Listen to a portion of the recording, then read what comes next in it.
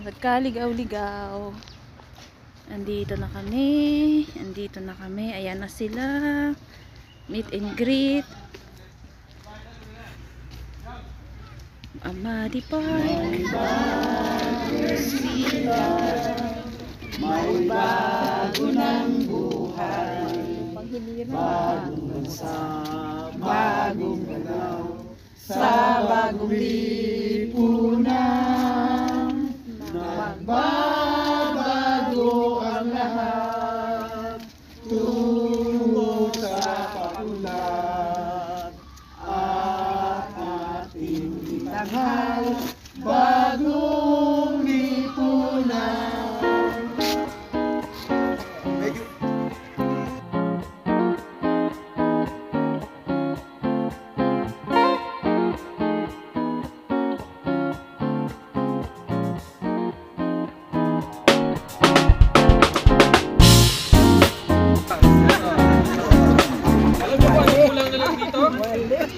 Kabayo. Yeah. Kasi last week, nagpapasalamat ako kay Sir Freddy sa grupo nila, yung Cordillera, Cordillera, Cordillera, Organization State of Kuwait. Nandito, naghahanap kami ng, kami tatlo, naghahanap kami ng papag-meetingan natin ng meet and greet. So kumapong naglalakad kami dyan, sabi ko na tayo Eastern Beach Park. Nanood kami dyan, ang grupo rito, sabi niya, kinusyoso tayo. no? Sosyo pa nga, makisyoso. Nakaya naman kasi. Tapos nakita ko, si Freddy, sabi ko, ah, dito si Oski at tinawag namin siya. And doon nga, kaya nandito tayo ngayon kasi nga, maganda yung lugar, di ba? Sa nakita ko mga parke, isa ito sa mga magandang lugar sa eh, parang conducive siya sa ganitong pagtitipon, especially dito uh, weather. So salamat sa inyo, ah, si OSK, uh, Tatak Aspo, lang nung pumasok yung ASPO. Kasi kasama din namin sila sa ASPO. Uh, si OSK. So yun, um, kaya po tayo nandito ngayon dahil kay BBM kasi naniniwala po tayo na yung pagbabago na uh, ginawa ng ating presidente, ginagawa ng ating presidente ngayon na si PRRD ay may pagpapatuloy ng unity team ni, ni Bongbong Marcos at ni Sara Geronimo. Nakita ko kasi yung green ni Ma'am eh, kaya Sara, kaya Sara Duterte. So sila lang, sila lang yung makapagpatuloy nito. And then, yung vision ng Ama. Di ba na alam natin yung vision ng Ama na marami pa siyang gustong gawin sa Pilipinas. Marami pa siyang gustong magawa para sa Pilipinas na, na, na, na TV lang ito nung pumasok ang EDSA Revolution. So alam ni Bongbong Marcos kung anong vision talaga ng Ama. Na siya pa rin ang makakagawa na, na tayo mga Marcos loyalist actually ang roots ko po ay taga Pangasinan ako, taga Ordaneta Pangasinan ng tatay ko, mga Ilocano rin. So, kahit ang sabi, iglesia kasi ang lola ko, kahit sinasabi ng iglesia, iboto nyo si Dang, Danding Kuang ko noon, ibinuboto nyo pa rin si Imelda Marcos. Kasi loyalist na talaga kami. So, nung, nung nalaman ko na isa si Bongbong Marcos na tatakbo at wala naman talagang pagpipilian, it's either Bongbong Marcos or Bongbong Marcos. Diba? So, so, the rest is hindi mo sila ma, ma- ano eh, mabigyan ng mabigyan ng tawag noon ng chance kasi wala talaga silang ano eh. Hindi mo makita sa kanila except gusto nila ng power, except gusto nila iligtas ang oligarkiya, except gusto lang nilang badagdagan yung kung ano man kung may kung ano man meron sila na, na kayamanan. But then again, eto dumating ang Duterte administration, papasok ang isang election, matatapos ito, we don't want to waste those uh, chances. We don't want to waste this chance para sa atin. Actually, isa ako, ma- matagal na ako FW rito, and nung dumating si Duterte, I feel safe about my family. But before that, kung alam niyo, kahit ako umuwi ako ng Pilipinas, na, na mismo lugar ko, kung saan ako nilakihan sa Olongapo, natatakot ako lumabas ng gabi or maglakad sa kalsada unlike before nung bata ako. Why? Kasi mayat mayak, ano kami, yung area namin, ang dami ng mga drug addicts, ang daming mga crimes.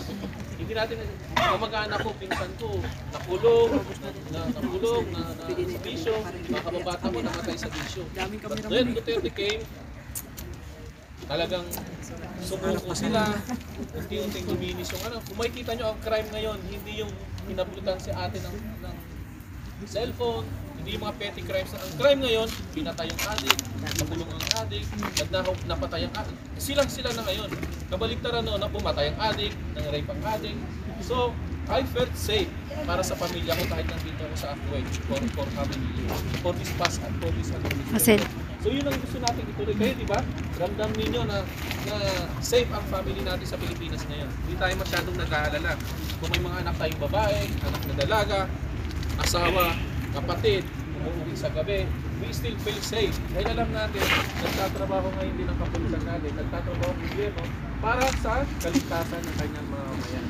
So, ito ang gusto natin ipagpatuloy. The next thing is, ano ba ang vision natin?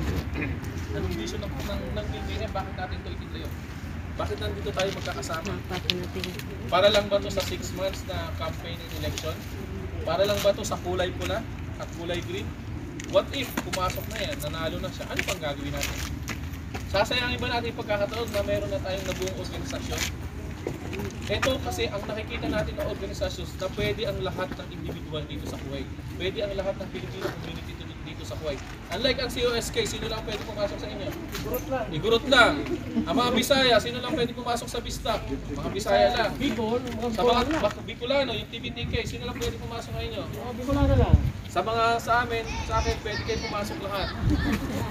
So dito sa BBM, pwede natin ipasok lahat. Pwede nating tanggapin lahat. Anumang kultura mo, anumang pinag-aralan mo, anumang profession mo, nagsusumba ka man, sports minded ka man, health and weight- wellness ka man, nasa guardians. Sino mga guardians dito? O may guardians dito. Sino lang gustong pumasok sa guardians? Yung gustong masaktan, gustong magpatato. Tata, di ba? Magpatato. Gustong matatuan. Okay sa kayo. Meron tayo, ayaw nating matatuan, pero gusto natin pumasok sa isang organisasyon na makakatulong sa ating kapwa dito sa Kuwait. So eto yun, pagkakataon na natin to na nakabuo tayo ng isang malaking organisasyon. So grab this opportunity. So yung 6 months na to pagkatapos ng election, may panalo natin si si Bongbong Marcos at Sara Duterte. We won't stop that. We won't stop that. We won't stop on that election. Kaya po hindi BBM o Bongbong Marcos siya na nakikita nyo sa ibang grupo. It is bagong bayaning makabayan. Bakit bagong bayaning makabayan? Bakit bagong bayani? Because we are the OFWs.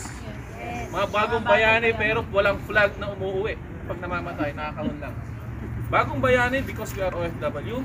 And then makabayan because ang pagiging makabayan, sinusuportahan mo ang iyong bansa. Sinusuportahan mo ang iyong gobyerno. So ito ang gagawin natin. Susuportahan natin ang gobyerno ni Bongbong Marcos. Bakit si Bongbong Marcos? Kasi we are, we are claiming it na siya na magiging presidente natin. Magkakamatayan, sabi ng mga Ilocano. Magkakamatayan, sabi ng mga Bisaya. Magkakamatayan, sabi ng mga taga Mindanao. Magkakaroon ng Second World War doon sa Pilipinas. Civil War sa Pilipinas pag hindi na upo sa Bongbong Marcos because of the surveys na lumalabas ngayon. Mahigit 100% ang lamang. So, alam niyo yun, yung, yung, yung, ang ganda ng magi, nakikita nating ano sa nabukas dito sa bansa natin. Ganon din dito sa ating organisasyon. Si Argao, Stop yung dito sa naka-helicopter. 6 months na to sa election. Hmm. Gusto nating makita isang republikang malaya sa korupsyon. Naghatid? Isang republikang may pagmamahalan, may pagkakaisa, walang walang kanya-kanya, walang akin kundi sa atin. Isang republika na mayroong ah, matapat na gobyerno. Isang isang republika na ituturo sa atin kung ano ang tama. At dito sa organisasyon natin, yun ang gusto, yun ang vision natin. Magkaroon ng isang republika, isang gobyerno, isang individual, isang grupo na malayo sa korupsyon. That's the vision of this organization. Ngayon, ano ang mission natin para mangyari yon? We have to guard or we are the vanguard of those things. Babantayan natin yun para mangyari yon. Babantayan natin o protectionan natin. Kaya doon sa mission natin, we are the vanguard and protections of the rights and welfare of the expatriates. Bakit expatriates? Kasi yun ang hinahawakan natin. At the same time, yung rights and welfares nito. So yun po yung kaya, kaya from, from, from, from the moment na nabuo to, nitong mga officers na to, na binuo namin tong ano na yan, ang bagong bayan. It's not just about bongbong, pero malaki ang malaki ang respeto natin sa kanya at dahil sa kanya nabuo ang organisasyon na ito. But we will not stop from that. We will go beyond that elections. Gagawin natin yon.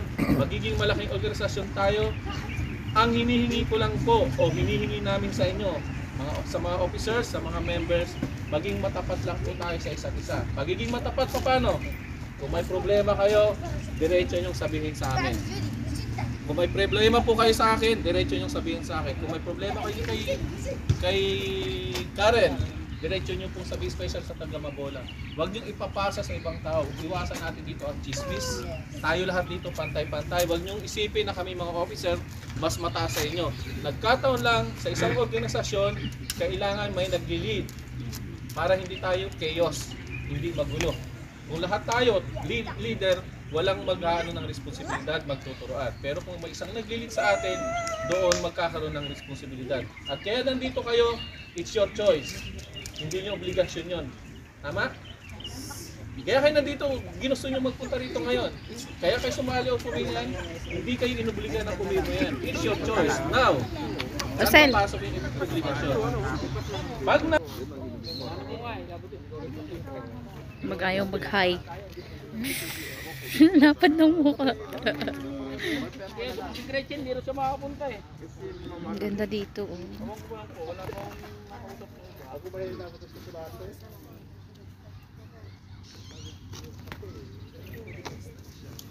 Bakit mo niya dito? Ito, dito. Sabi ko, pinamili sa